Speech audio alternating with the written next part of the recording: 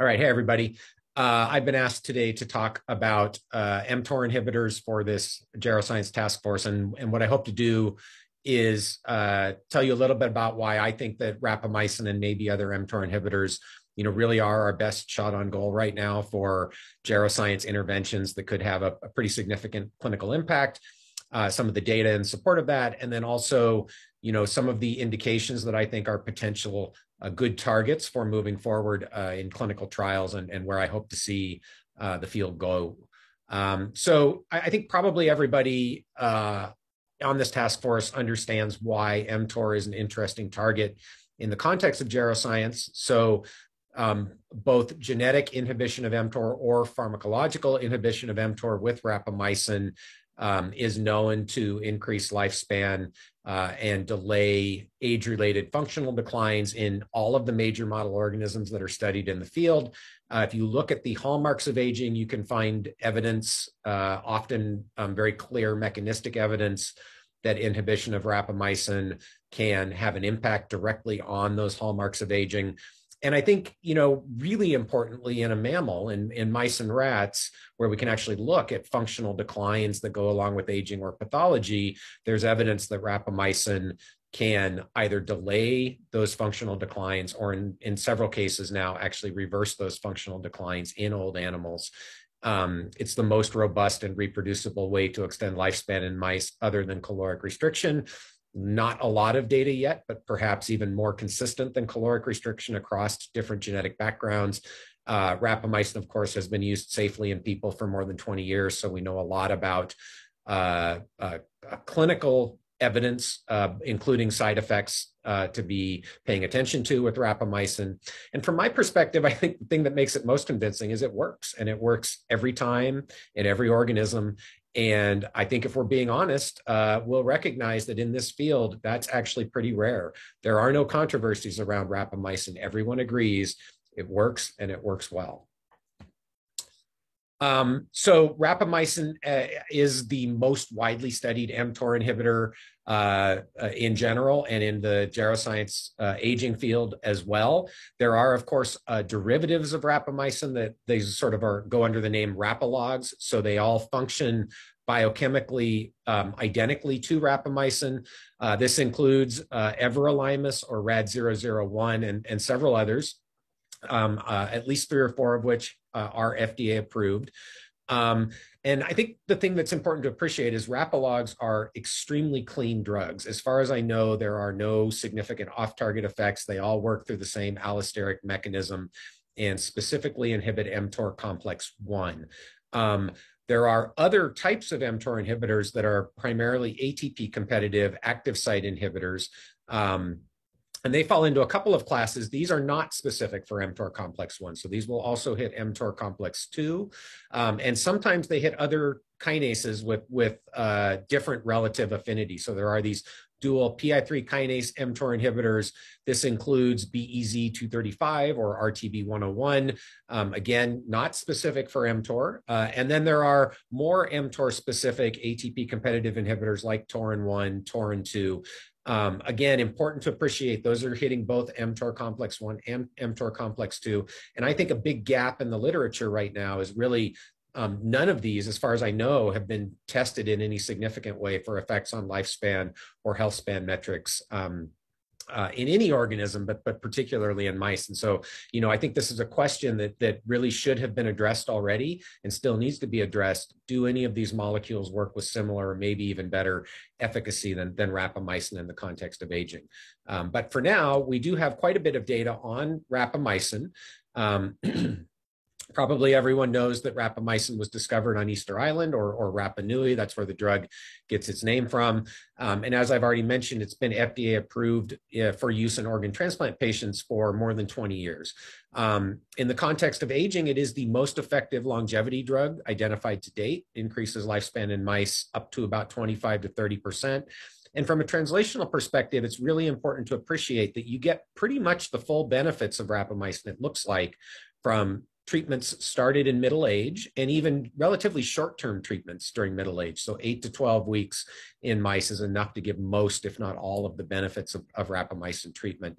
And again, as I've already alluded to, um, it seems to broadly delay or even reverse molecular and functional phenotypes of aging across many, maybe all tissues and organs in mice, um, a subset of which are shown here uh, at the right. Um, and I think for me, one of the things that's been, you know, particularly um, interesting and exciting is that that we now know that you can actually reverse functional declines that go along with aging in several tissues. Three of those that have been studied most extensively are the heart, the immune system, and the oral cavity in mice. And I think these are particularly good areas to be thinking about in terms of indications to, to look at for a, a clinical trial. Again, in many ways, you know, it's easier to hit an endpoint if you're looking at improving uh, function as opposed to just delaying the declines in function when you're when you're thinking about a clinical trial. And then, of course, this is data from my lab where we showed that just a 12 week treatment uh, starting at 20 months of age in mice is enough to robustly increase lifespan. In this particular cohort is about a 60% increase in remaining life expectancy, which again, we have no way to know whether this will translate through to people in, in any sort of relative sense. If it did, that would be about two decades for a typical 50 year old woman. So potentially pretty significant um, uh, impact on on lifespan and, and health span metrics. Um, and again, I think you know it's worth looking at rapamycin in the context of many of the other interventions that people think about. And, and I've been trying to, to figure out how to really do a an apples to apples comparison, as I'm sure you'll appreciate. That's quite hard to do in this field because people use different strains of mice and, and different ways of, of doing their, their treatments. This is a, a graphic where I have tried to extract the data for C57 black 6 males uh, from several different studies, which are showing it right. And it was using this, this automated um, digitizer here if, if anybody's interested in, in, in, reproducing this. The way that this graphic is represented is the, the, the left-hand side of the arrow are, is the median control lifespan in that study. The right-hand side of the arrow is the uh, median treatment lifespan. And so all of these were reported to increase lifespan. The arrows are all going to the right. But I think one thing you'll notice immediately is the relative length of the arrows or the magnitude of the effect is different. And importantly, many of these studies suffer from particularly short-lived controls. Um, and in several cases, metformin, nicotinamide riboside, intermittent fasting, the long-lived treatment group is actually shorter-lived than the controls for some of these other studies. And, and to my mind, that's a real weakness in understanding whether these interventions are actually working when the controls are short-lived. Now, it's also, I, I think, a fair uh, statement that some of these studies are, are starting treatments during middle age. And so one way to try to control for these, uh, control for the short-lived controls is to exclude animals that died before about 800 days of age when um, when when some of these studies were finishing their their treatments. And so i've done that uh, and and what you can see here is if we if we exclude the animals that died early um, of course, everything shifts to the right, but still the short, shorter lived uh, controls tend to come out short lived and, and shorter lived. And again, you can see the effects of nicotinamide riboside, metformin, intermittent fasting, in my view, are not particularly convincing when the long lived groups are actually shorter lived than the controls in the rapamycin or the senolytics um, experiments. So to my eye here, the things that really look pretty robust Senolytics, small effect, but it looks real. Alpha ketoglutarate, maybe. Um, rapamycin and caloric restriction really look like the, the, the obvious winners to me here. And so that, you know, again, solidifies in my mind that, you know, we don't get a lot of shots on goals. And uh, to my view, we should be taking those shots with, with the interventions that are that are likely to give us the, the biggest chance of success. And I really believe that um, rapamycin falls into that category. Um, and we know we've got some data in people that I think actually support that as well.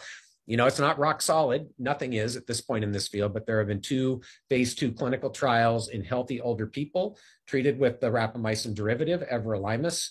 Um, in both of those studies, uh, there was evidence for improved uh, influenza vaccine response.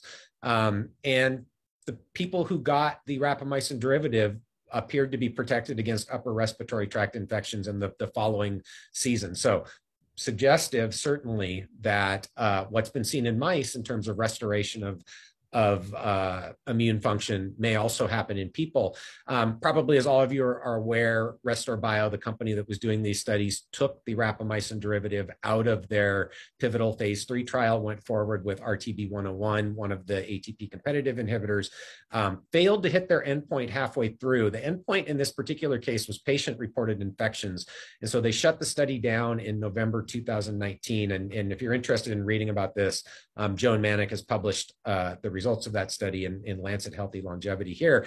Uh, it's a little bit, you know, ironic. You can't help but wonder if they knew where the world was going three or four months later, if they would have shut that study down. And indeed, looking back at the data from that study, there's some suggestive evidence that that the people who got the mTOR inhibitor um, may have had a, an improved antiviral response, particularly to influenza and coronavirus. So you know one of those accidents of history will never we may never actually know the answer. But i think the key point here is there's suggestive data actually that a rapamycin or rapamycin derivative can boost immune function in the elderly.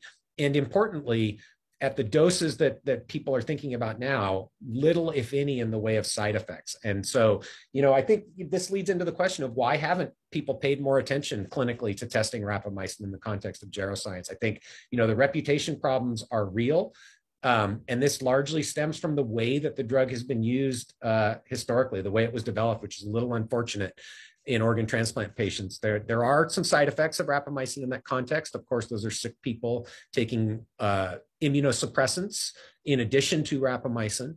Um, I think we've learned and, and will continue to learn, in my view, that, that at the lower doses that people are talking about, the once weekly dosing, um, little, if any, in the way of significant side effects from, from rapamycin monotherapy. Um, but, but time will tell. It certainly has been a challenge, though, with moving forward with clinical trials. I also think, you know, it's unfortunate, but a lot of scientists do what's easy. Um, and, you know, because of the reputation problems, um, there there is a little more work involved in getting a clinical trial going with rapamycin and getting it through the IRB. There's also a little bit of shiny new object syndrome in this field. And I think people, you know, have known rapamycin works really well uh, in preclinical studies and, and, and, and haven't paid as much attention as they probably should have. Then, of course, rapamycin's off patent and it's been off patent for many years. And so there hasn't been a lot of incentive for companies to move forward with clinical trials um, for rapamycin for other indications. That I think is being helped by newer versions of rapamycin. So there's a company called Trivium Vet that has a version of rapamycin that's enteric coated for better release in the intestine. There are some other uh, eh, potentially more mTORC1 specific inhibitors that are rap- rapalogs that are being developed. And then, of course, the catalytic inhibitors that I talked about. Um, so what's happening right now? So, so we are carrying out a clinical trial of rapamycin in companion dogs. This is a study of uh, 580 uh, large middle-aged dogs. The endpoint for this study is lifespan. Um, it's a one-year treatment with two years of follow-up. Uh, and we are statistically powered to detect a 9% change in lifespan, which is towards the lower end of, um, uh, of what's been seen in mice. This is a real clinical trial in veterinary clinics in companion dogs living with their owners. Um, and then in addition to lifespan, we are trying to look as broadly as we can at health span metrics, um, including heart function, cognitive function, disease incidence, activity, things like that. And we have some, I think, intriguing preliminary data from, from uh, two smaller safety trials, but this will really be the trial that answers the question, does rapamycin slow aging in companion dogs? There are some um, other studies that are happening now in people, and, and several of these are funded by this new Impetus Grants program. I really want to give a shout out to the Impetus Grants folks, um, and I think they are really uh, accelerating progress in, in the field. So we are doing a study of people who have been taking rapamycin off label, collecting survey, medical and dental record data from those people to try to understand particularly side effects, but also, you know, get some hints for efficacy, maybe identify some interesting case reports. Um, there's a clinical trial funded by the Impetus program, and Jonathan An is running this out of the University of Washington to look at whether rapamycin can improve periodontal disease in people. Another clinical trial from Zev Williams and Yousin Suh, also funded by the Impetus program out of Columbia to look at whether rapamycin can have an impact on ovarian failure um, in women and then a clinical trial that's that's being uh, set up by Brad Stanfield out of New Zealand to look at the effect of rapamycin on muscle function in older people. And I think we'll get some, you know, in the next couple of years, we may have a much better feel for what sorts of effects rapamycin could be having in, in older, relatively healthy people. So that um, leads me to the last the last uh, point I want to make here is what are some of the indications we might want to be thinking about uh, from a geroscience perspective? Really, I think you know it's a bevy of riches in a lot of ways. You could certainly um, pretty much pick your favorite age-related endpoint and and find a reason to believe that rapamycin could have an effect there. I'm particularly intrigued by conditions that are associated with age-related inflammation. There's existing data, case reports uh, for inflammatory bowel disease, joint capsule disorders, autoimmune disease. Um, I personally know several people who have benefited um, from rapamycin for these specific indications. So I'm a pretty big believer. Uh, mitochondrial disorders are another area of interest. There's existing case reports for both childhood and adult onset mitochondrial disorders cognitive decline dementia, particularly, I think, ApoE4 homozygotes, skin aging, work from Chris Sell's lab, um, suggestive that rapamycin can attenuate senescence in skin in the context of aging. Existing data, both in companion animals and in people for hypertrophic cardiomyopathy, dilated cardiomyopathy. I've already mentioned oral health and periodontal disease. I haven't mentioned salivary dysfunction. I also think this is a pretty interesting endpoint to think about, something that's a challenge for many older people. And then I also mentioned ovarian senescence and menopause. So lots of different um, endpoints uh, just on this slide. And again, I think this is a fairly short list. Um, you could certainly identify others, but I, am pretty excited to see, you know, where we go with rapamycin and other mTOR inhibitors clinically in the next few years in the context of geroscience. Um, and I, you know, I think there's a really a real chance that uh, that we could we could actually have a pretty good feel for efficacy, like I said, in the next few years. So I'm excited to see where where the field goes. Um, so with that, I will stop and thank you for your attention.